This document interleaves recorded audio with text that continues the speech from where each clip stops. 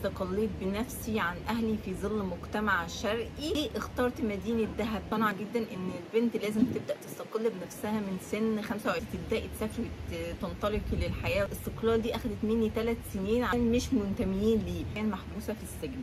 تستقلي ماديا. تبني نفسك وتبقي شخصية. ناجحه الحياة حلوة الحياة مفتوحة. تقدري تساعدي بعد الاستقلال. في ناس كتير هتنتقدني على الكلام.